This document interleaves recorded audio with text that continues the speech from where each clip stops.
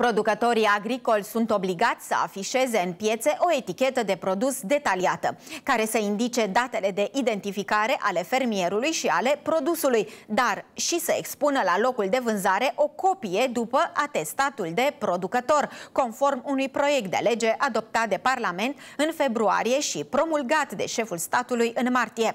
Acum, parlamentarii au pregătit un nou proiect de lege care include seria și numărul atestatului de producător în etichetă, deși acest atestat ar trebui afișat lângă etichetă, conform legii, care însă oricum nu este aplicată în practică, constată colegii de la Profit.ro. Conform definiției din legea adoptată, eticheta produsului este un material scris, imprimat, înscris la vedere, în mod vizibil, lizibil și ușor de înțeles, cu scopul de a oferi cumpărătorilor informațiile necesare, suficiente, verificabile și ușor de comparat, astfel încât să permită acestora să aleagă acel produs care corespunde exigențelor din punct de vedere al nevoilor și posibilităților lor financiare. Astfel, eticheta de produs trebuie să conțină obligatoriu următoarele elemente. Numele numele și prenumele, denumirea producătorului, denumirea produsului, localitatea de origine, data obținerii produsului, prețul de vânzare. Pe lângă eticheta de produs, producătorii agricoli sunt obligați, conform legii actuale, să afișeze și următoarele documente. Copie după atestatul de producător și copie după fila din carnetul de comercializare, vizată anual în cazul producătorilor agricoli, persoane fizice, sau copie după certificatul de înregistrare la Registrul Comerțului.